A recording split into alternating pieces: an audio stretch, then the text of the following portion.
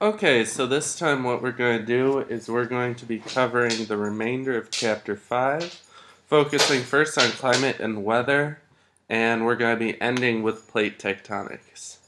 Now, this first section, it mainly focuses on the difference between weather and climate, and let's start by investigating this quote. What it says is, global warming cannot be occurring, we had a very cool summer.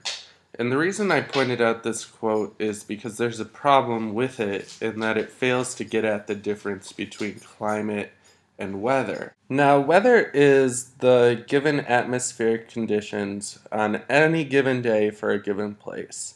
So these conditions include the temperature, pressure, precipitation, the cloudiness, humidity, and the wind. Uh, what the climate is, is the climate is the average atmospheric conditions of a given place over many years. So the problem with this quote is that is it, it, it is possible to have a cool summer while still having a climate that is, is as a whole warming. Precipitation is a major factor in the study of both weather and climate. Precipitation refers to the water that falls from the atmosphere, regardless of its form, so that can be sleet, snow, rain, or hail. Differences in the amount of precipitation depend on several factors, but it's mainly the result of equatorial uplift of moisture.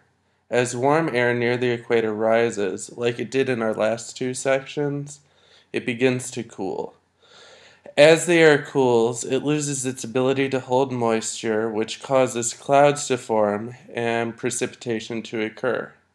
This dry air makes little difference over the water, but it's responsible for the formations of deserts on land. On the windward side of a mountain range, what happens is there's a buildup of moisture in the air, and as the air is forced to go up and up and up, uh, the amount of water that can be held within the air decreases. So as a result, this uh, air is forced to dump out all of its moisture as it passes over the mountains. And on the leeward side, which ha what happens is it only is exposed to dry air as all the moisture has been forced out. So the leeward side is referred to as a rain shadow because it doesn't experience rain. A similar process happens over many land masses in that wet, moist air from the coast, as it journeys inland, uh, the air is forced to dry. So it causes large amounts of precipitation near the coast and lower levels of precipitation inland. Now, the first thing we're going to talk about related to storms are tornadoes. And what tornadoes are, are they're they're powerful rotating funnels of air associated with severe thunderstorms. When a tornado occurs, what happens is the spinning funnel of air uh, it descends from the clouds and touch ground hitting the earth. So here are some various locations in which tornadoes typically occur and uh, it shows how many there occur for every uh, 100,000 square kilometers. So the most frequent place that uh, tornadoes occur is in Tornado Alley, which is in the southern United States. Now, the other major weather event that we're going to talk about are uh, tropical cyclones. So, tropical cyclones, they can take various forms depending on where they are located. So, um, tropical cyclones, what they are, are giant rotating tropical storms with winds of 75 miles per hour or greater. Tropical cyclones are destructive when they hit land, and it's not so much because of their strong winds, but it's mainly due to the massive storm surge that follows and the flooding that occurs. So even though like all these things like hurricanes, typhoons, cyclones, they're all actually the same weather event. So moving on to plate tectonics, uh, the lithosphere, the land on the Earth, it's comprised of seven large plates plus a few smaller ones. So these seven large plates are shown right here And as you can see, there's also a few smaller ones that are illustrated on this slide as well. And uh, when two plates meet, what can happen is they can form three different types of plate boundaries. So um, they show these three plate boundaries on this map. They're divergent boundaries, convergent boundaries, and transform boundaries. And we're going to talk about those right now. So a divergent plate boundary, what that is, is when uh, two plates move apart. And when these plates move apart, a ridge of molten rock from the mantle wells up between them.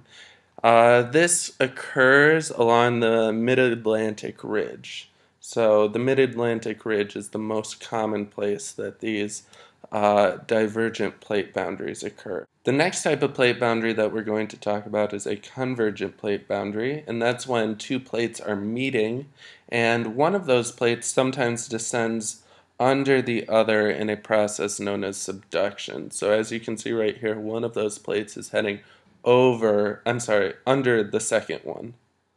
And what happens during a subduction is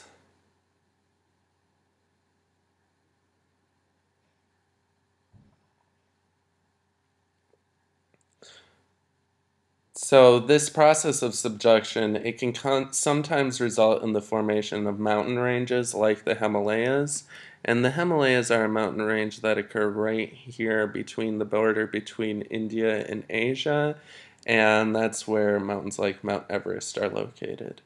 So the last type of boundary that we're going to be talking about is called a transform plate boundary.